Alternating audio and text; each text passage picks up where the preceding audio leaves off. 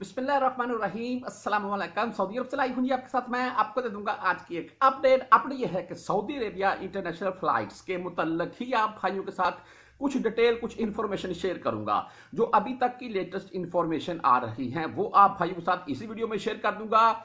क्या आप भाइयों ने अपने बैग तैयार कर लिए यानी कि आपने अपनी तैयारी मुकम्मल कर ली है?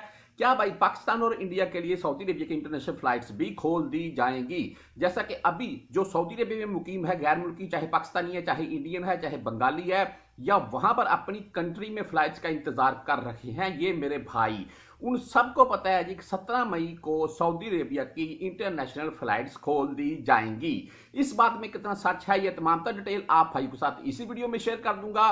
बात यह है कि 17 मई को सऊदी अरेबिया की इंटरनेशनल फ्लाइट्स खोली जा रही हैं। इसमें कोई किसी किस्म की दूसरी बात नहीं जी। लेकिन अभी तक की जो इंफॉर्मेशन आ रही है भाई, वो यही है कि यहाँ पर जो मुकीम सऊदी हजरात हैं, वो दूसरे ममालिक में जा सकेंगे और वहाँ से वापस आ सकेंगे। हाँ साथ में ये कहा ज़रूर जा रहा है कि कुछ ऐसे ममालिक की फ्लाइट्स भी हम साथ में खोल देंगे जहाँ पर इस वायरस के केसेस कम आ रहे हैं। ना कि उनकी। जैसा कि 20 ममालक पर आपको पता ही पाबंदी लगाई हुई है, ना कि उनकी भाई जहाँ पर इस वायरस के केस ज़्यादा होंगे।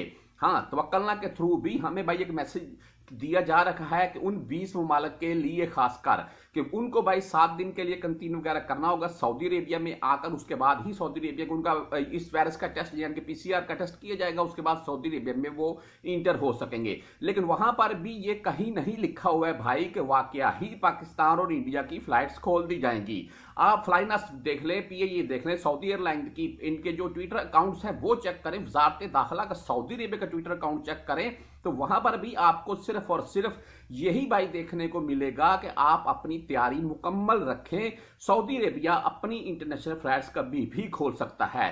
हाँ जैसा कि कहा जा रहा था कि हज इस दफ़ा भाई तमाम तर ममालक के हाजी हजरात, यानी कि तमाम तर ममालक को कोटा दिया जाएगा, वहाँ से हाजी हजरात को बुलाया जाएगा सऊदी अरेबिया में। तो भाई, बात मैं पहले ही क्लियर कर दूँ, मेरे हिसाब से, यानी कि मैं अपने नज़रिए के मुताबिक बात कर रहा हूँ अभी तक मैं क्या कोई भी बंदा आपको कोई भी किसी किस्म की कंफर्म डेट नहीं दे सकता है। लेकिन मैं अपने हिसाब से आप भाइयों के साथ यही बात शेयर करूँगा कि 17 मई को फ्लाइट्स ओपन होंगी। लेकिन कुछ चंद ममालक साथ में रखे जाएँगे, जिनका जिन पर भाई ये वायरस के केसेस कम होंगे, और उसके अलावा हज से पहले इंटरनेशनल फ्लाइट्स खोल दी जाएँगी। मुकम्मल तौर पर कुछ शराइत वगैरह रखी जाएँगी, या तो वैक्सीन की शराइत होगी, या कंटीन वगैरह करना होगा आपको सात से चौदह दिन के लिए। तो इसके मतलब जैसे ही आने वाले वक्त में कुछ इंफॉर्मेशन आती रहेंगी, वो भी आप भाइयों के साथ शेयर करते रहेंगे।